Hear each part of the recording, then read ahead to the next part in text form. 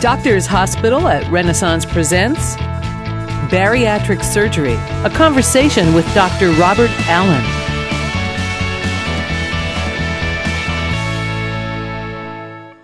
What is bariatric surgery?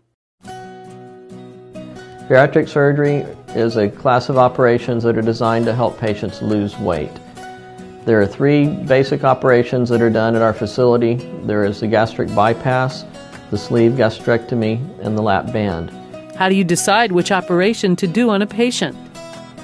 Generally speaking, we discuss the operations with the patient. We have a rather extensive uh, process of education. And once the patients have a good understanding of the surgical options, they will decide which procedure best matches their lifestyle and their choices. Who is a candidate for bariatric surgery? The patients who receive this operation are obese to a level that is dangerous to their health.